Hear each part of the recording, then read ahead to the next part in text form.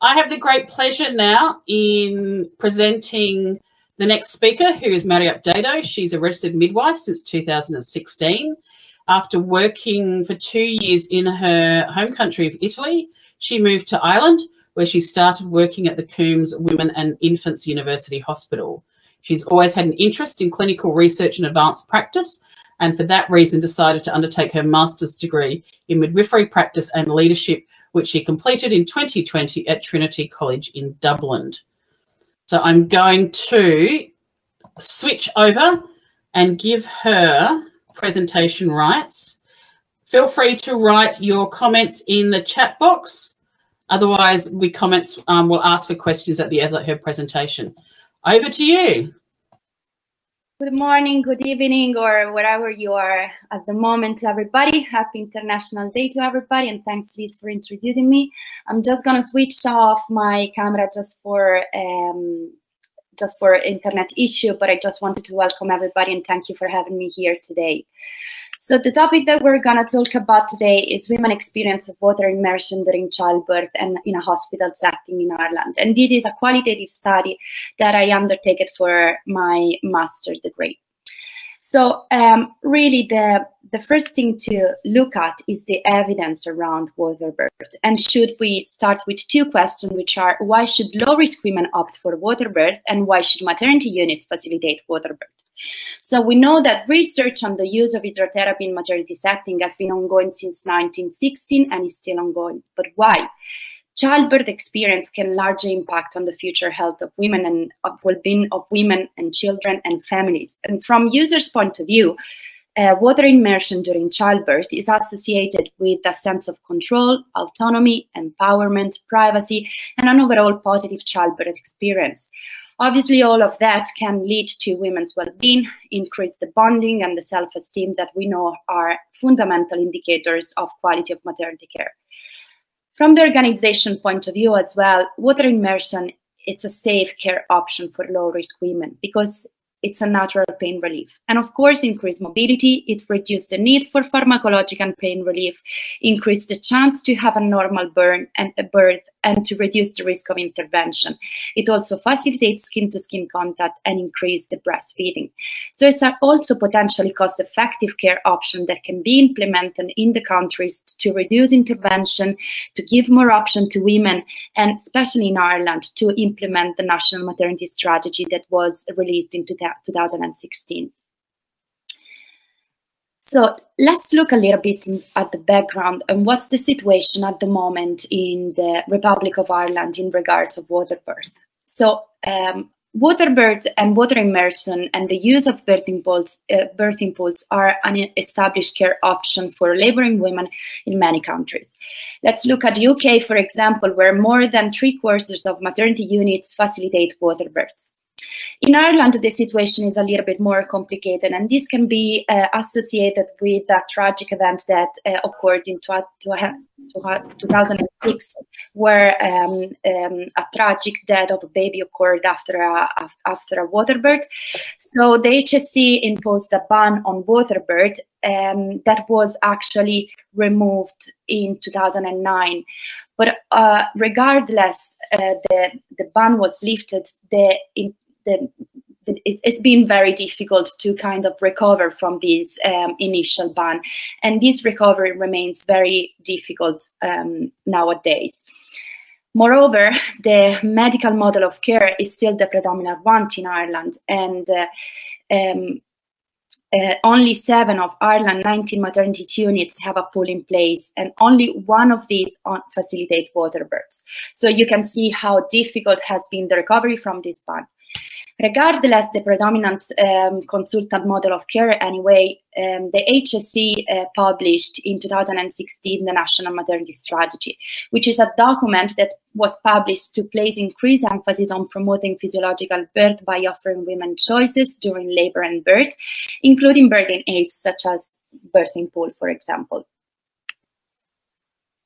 So, given that um, this um, relative limited use of birthing pools in Ireland, and also there's no really uh, study that look at women experience of water immersion in Ireland, but even worldwide, there's a lack of information on the quality, qualitative aspect of the research. It was considered timely and critical to explore women experience of, water, uh, of using water immersion during childbirth in the con context of the Irish maternity um, setting and care women experience of this care option in the context of the of the current availability and use in Ireland, it was expected to give a greater understanding from women perspective that could actually inform policies and in, inform practice. And that's why um, I decided to continue with this topic and to uh, look at women experiences of water immersion during labor and childbirth in a hospital setting in Ireland.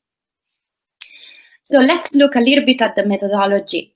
Um, given that the purpose of the study was to investigate women experience of, experience of water immersion during uh, childbirth, and so together uh, like a better understanding of the process, um, it was uh, a qualitative descriptive approach was um, the the method the, the, study design that was um, considered appropriate. Uh, the sample um, were nine women, low risk women that gave birth in water between 2019. Sister, did you come with patients? Sister Perth, did you come with patients? Patients, they came with a, a van. A bus. Hey, she's around sorry. so um, the sample was nine low-risk women who gave birth in between February 2019 and November 2019 in the Coombe Hospital. So the study population were women who gave birth in water within 12 months previously, uh, pre prior to the study. And the Coombe Hospital is a study site that was um, uh, there is a, a, center that provides care to 8,000 um, women per year. Data was collected by semi-structured interviews with open-ended questions, and interviews were conducted between February 2020 and March 2020. Um, because obviously uh, the COVID happened and the strict rules, I had to stop the interviews, but the sample was considered enough anyway for the data that I gathered at the time. Data were analyzed by using inductive thematic analysis. I use a software that is NVivo to store, classify, and code the data. The data were um, this, um, transcribed verbatim. All the information and all the um, um, all the interviews were transcribed verbatim, and from there coded, and then three main teams and sub-team were identified. This was the whole process, and the three sub-themes so water birth, keep it normal in a hospital setting, which include two um, sub-themes, which are trust in the body and intimate experience and the gentle transition. And then the second uh, theme, which is intimate experience, and the third theme, which is an unknown, underestimated resource.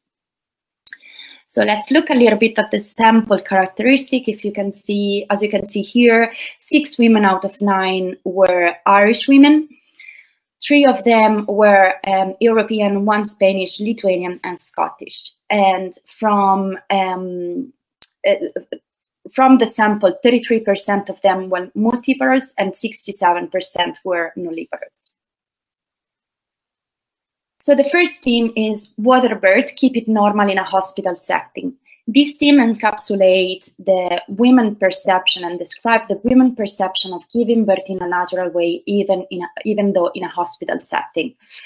As you can read here, women describe water immersion as the best thing ever. No gas, no nothing, the best thing ever, relaxation relaxation in fact was uh, the high level of relaxation was one of the main topic that raised from all women uh, stories and this helped them to naturally cope with the pain. Um, as well, being active was central for the management of the pain in relation to women's satisfaction with the experience as well. All the multiparous spontaneously compared their water births with epidural, for example, describing water births as more natural and satisfied because they could be in control and because they could be active. They were actually leading their experience. Also, the second stage, um, the majority of the women describe it as quick and easy. They were able to follow their instinct and they had the perception to avoid of being cut or having an unnecessary intervention. Overall, women describe this experience as amazing, lovely, unbelievable, life changing, and wonderful because you experienced to give birth to your baby. Two negative aspects also raised. One was the tight space that can obviously um, depend from obviously uh, the even the BMI, BMI of the woman or also the fact that we just have one pool in place and we can give more option to the women and also to be rushed out of the pool. This one also can be linked to the fact that the pool is um, in the delivery suite of this big maternity center that provides care to 8,000 women. So it's not like a midwifery-led um, alongside unit. Uh, so the workload is continuously like the same. So that was probably the reason why. And all women indicated overall that the word for um, they would hope for a water birth in the future, and they uses phrases like, for example, would not change a thing, cannot imagine being in any other place, and after this experience, I would only want the pool. The first sub sub team is um, trusting the body and empowering experience. All women reported that being in the water heightening their experience of being in control of their body. Um, perception of being charged was enhanced by different aspects, primarily by not using medication for pain management. All women linked not using medication with the perception of being empowered as they were able to give birth without any help they use phrases for example as being privileged to be a woman and you know what to do even though nobody tell you. Um, this suggests obviously that water birth can have an impact of women's perception of self-affirmation that is a very important indicator of the quality of maternity care as we saw at the beginning of this presentation Another important aspect that influences women's perception of being in control of and, and feeling empowered was the hands-off care that they received. Women reported that midwives give them the belief that they could actually do that without any issue and stated that being the water helped them avoid unnecessary intervention. The second sub-team is the gentle transition. Women described giving birth uh, in the pool as a non-traumatic experience for them, but also for their baby. They all see the, the birth of their baby as a peaceful way to give birth to the baby. And um, all the birds um, in all the birds the baby was free to flow out and flow up into the water. And this was described as a precious moment for them also to realize what was happening. And to look at the baby swimming into the pool was a very relaxing and very stress-free way of um, seeing the baby being born. The second team is an intimate experience. So this team encapsulates women's perception of having a private and intimate experience. Being covered by the water made them feel safe and comfortable and also very much less exposed um, and this was quite crucial because all women reported having a perception of being in their own space, which was also described as one of the reasons why they decided to opt for water birth. For example, one of the women that was uh, one of the women that was interviewed, she was suffering of hemorrhoids and varicose veins. That she's and she reported that being covered by the water gave her a sense of dignity instead of being exposed um, uh, to everybody. Most of the women talk about their satisfaction with the care and the care that they received also um, in relation of the um, midwifery care that they received. Um, women described midwives to be very discreet with them, and they all appreciated the fact that the body was really encroaching their space. And this enhanced their perception of feeling in a private and a home like space. Also, another important um, aspect was the partner role. Getting the partner prepared for the labor for the labor was a was a very uh, recurrent theme and aspect. Um, all women reported how highly uh, they valued the fact that the, the partner was playing an active role in their births. They said that the partner were more involved in the decision making, even during the pregnancies. They um, couldn't make without the partner getting the environment ready, and they felt very protected and safe because they had the partner right in front of them, looking in the eyes instead of turning the head while they were in the bed. Um, also, the partner had the chance to start bonding with the newborns because, for example, as you can read here, when baby came out, he picked up the baby up and uh, put the baby on my chest. So the partner in some of the uh, stories was also the first person um, uh, catching the baby. The third and the last theme is an, under, an, an unknown underestimated research, uh, resource. This theme encapsulates the lack of information and, and the access that all the women mentioned in regards of water births in Ireland. So if we look a little bit at the numbers, two women out of nine directly were directly informed by this care option in the hospital. Um, most of the women decided to um, have a water birth because they they were informed, they educated themselves, or because somebody has experiences. Also, six women uh, considered water birth to achieve a normal birth, and all the nulliparous, all the multiparous considered water birth because they had a traumatic experience. So really as a healing experience for them now.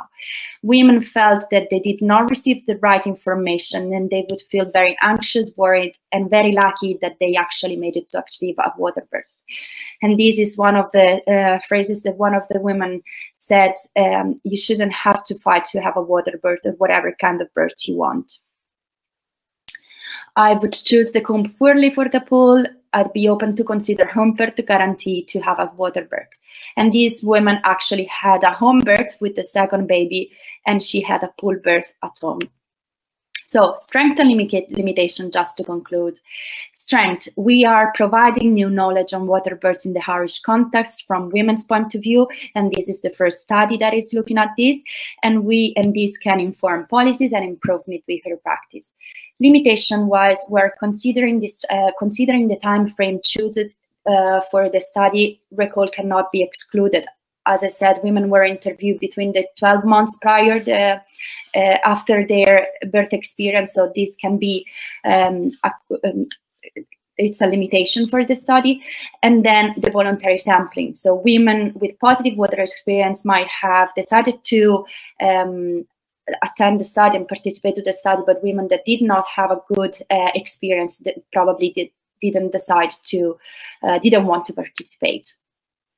So to conclude, water can promote positive, empowering birth experience to women, led to a shift of focus from high risk to low risk midwifery care, which contributes to a reduction of necessary intervention even in a high medicalized hospital setting, preserve physiological process of birth even in a high medicalized settings in and in Irish uh, maternity hospital, and and and to ensure that obviously water birth is a valuable, realistic option for women in Ireland, we should engage and educate more regarding water births. Thank you, everybody, for listening and for being here today. Thank you very much. And I think that last quote is, is very apt that birth isn't only about making the babies, it's about making mothers who are strong, competent, capable, who trust themselves and know their inner strength, which after birthing they most certainly do. Just going to take presentation back from you. So this now comes to question time. So we've got comments on here first. So let's go back to that slide because it's prettier to look at. Um, Catherine has written here that she loves your accompanying um, pictorials. So your pictures are beautiful throughout your presentation. Thank you so much. It is actually a woman that was included in the study, this last picture here. Oh, that's brilliant. Yes, yes. And that's and the I, that's the pool. Yes. So um, that's I, sorry, go for it. No, no, no. when we were looking at, for example, the um, the tight space, the negative aspect is, as you can see, this pool is quite long because it's the only pool, that is present in the hospital, and we don't have different options and option and size. For example, as you can see, this might have been like obviously a negative aspect, and that's the pool that we were talking about, and that's one of the women that attended and that had uh, water birth. So is that steps at the front of her that she can climb in and out of? Say it again, sorry. Are those the steps of the pool oh, in front of her? Yes, yes. The steps are beside, like on the side, there is um, some movement and some uh, position that we would explain or midwives are trained on how to get the woman out of the pool quickly if it needed. But the stairs on, are on the side. There is actually a pole there is on the side of the pool where the woman can hold herself and then she can step out of the pool by using this little stair. Oh, and I, I apologize for mispronouncing people's names, but Bigam has in Turkey only a maximum of seven or eight public hospitals have water birth units. If you want water birthing, you can take this service from private hospital and sadly costs a lot of money. And I think that's the same almost everywhere. If a woman has money, she can have less pain. She has more choice. Um, Megan Cooper's giving you hands up and applause. Jane's agreeing with what um, has said. Um, Diane, thank you so much for sharing your research. It is uplifting. Bravo. Um, Catherine has asked, how expensive is it to set up a water birthing unit in dollars or sterlings? I don't really know about dollars and sterling or uh, to, to set up a birthing to set up a birthing unit. Um, it is quite expensive, but the problem in Ireland is not more about the money; it's about the the model of care, the predominant one. There is still a shared care between GP and the consultant and the hospital. So the reason mainly is not because there's a lack of money or there's no money to invest on that, but it's because obviously the, it's a very medicalized uh, maternity care at the time at this moment uh, we still didn't uh, step out of the all the induction uh, induction of labors process and stuff like this. There's uh, women usually go to consultant instead of going to midwives. So we're we're making step by step. There is a few midwifery led units in Ireland. Unfortunately, there's none in in Dublin. Um, probably in the not very far future even Ireland will have the possibility to have a, a midwifery-led unit, but um, I, I don't know how much could be in dollars or sterling, but definitely um, it's not the it's not a money issue here in Ireland. You change the system before you can think about that. But that, as Jane has put her comment as well, it's about integration of normal and how we kind of go about that. Um, Megan has written in excellent work confirms so much of the research we've already done. I would love to work with you as the challenges you mentioned are common across the globe. Megan's currently working with um, the, I agree, absolutely amazing Claire Feeley on a scoping review that looks at facilitators and challenges in more depth. Um, so much work to do. Um, Belgium, Turkey's minimum wage is 4,250 lira and water birth starts at 2,000 lira. Yeah. And this is when we look at social justice and the importance of social justice to midwifery care and to making sure people have the options, all options, and it's not just about um, money. Almost a conversation happening down here. Um, Jane Houston, another person for you to connect up with um, Mariapia. She's did her doctorate in water immersion. So as long as you get the buy-in, it's simple, but need motivated people. Uh, lots of chats are going to happen offline, I think, by the looks of this. And Megan, from the Australian perspective, two two and a half to three thousand dollars to get started using a portable pool, um, and then you've got to do your occupational health and safety and draining um, after that. Does anyone else want to ask any other questions? Either ask them verbally or type in other questions. I was going to ask one while people are thinking about what has changed in Ireland, but you've kind of answered that. That it's well. First of all, yeah, well, it's been complicated, especially after the COVID. So it was already complicated to um, have water births starting in Ireland. Um, it was needed a, a quantitative study that was actually carried out from one of the assistant director of midwifery in the Coombe Hospital that published one study on um, just in 2020 uh, comparing outcomes between standard care and waterbirth. This actually gave the possibility to the hospital because there was a study uh, going on to start with waterbirths. From there, um, actually things didn't really change too much, but that's because um, the COVID then hit so because of the COVID and because it's not a like a, an established care option in Ireland, um, all most of the hospital decided just to stop water births, and well, the COOMBE stopped water births. First of all, because there was no staff, and we had a very high waves uh, of obviously um, women hospitalized for COVID. So the staff level wasn't enough to even uh, look after women in, in water. And because we didn't know anything about uh, also um, from a perspective of um, hygiene and how to, you know, sharing the virus by using the pool and stuff like this.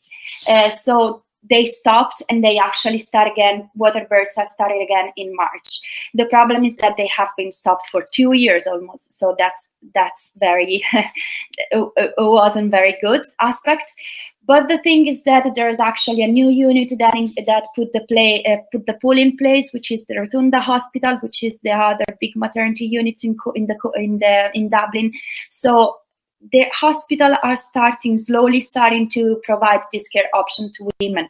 Even though it's not established care option quite yet and we do need a lot of um, work from midwives point of view that they don't feel enough confident and comfortable in assisting women giving birth in water but also from medical point of view because doctors are not really involved in this care option and they should in terms of being not because they need to to be present. Obviously, if it's a low risk women we're talking about, but because they need to be aware that this is a care option that is safe for women low risk, and this and they need to provide information to women that attended their clinic, for example. So you know there is a little bit of work to do still, uh, as you can said before, as you said before, mentality first, but um, slowly we can see a little bit of uh, progress from this point of view. COVID has a lot to answer for. Um, Jane, do you want to ask your questions using your microphone or do you want to type your questions? You've got a question about sample and midwifery education on water immersion. Why did uh, you? Yes. Right. Um, is it okay if I use the microphone? Absolutely, go for it, Jane. As I was called in the last session, I'm an aged midwife, so my typing is rather slow. So, um, yeah, my question, I mean, it, seems self-defeating in Ireland. We're telling women that this should be an option, yet there's there's not availability for younger folks to receive the education and, and the training.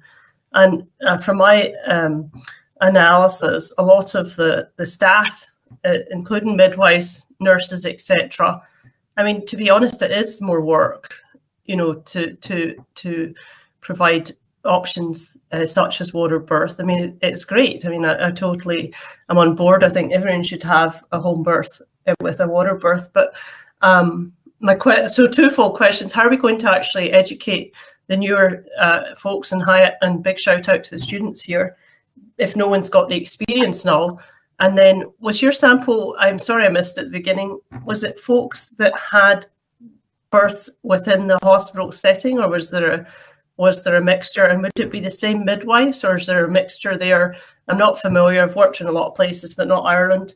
Is there mostly the same health service midwives, or would there be private and and public midwives that were offering these options? Thank you, and, and really great, good work, and uh, very impressed. Congratulations.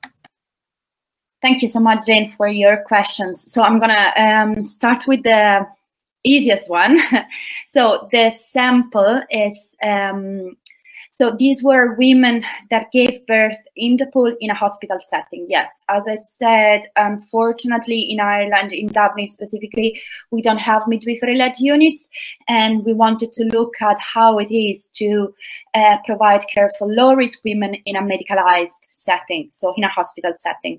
So these were women that were uh, low risk uh, that they met all the criteria, the inclusion criteria to, you know, assessed actually even during the labor. Uh, and they uh, attended the hospital. They some of them attended the Domino Clinic, which is the community midwife service in the hospital.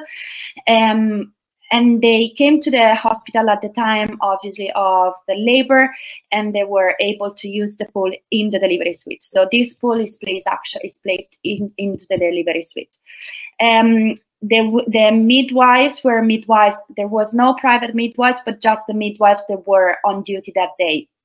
So the facilitating water births can also, as you said, depend from uh, who is the mid, like if there is enough experienced midwife to provide care to women in labor in the wa- in the water.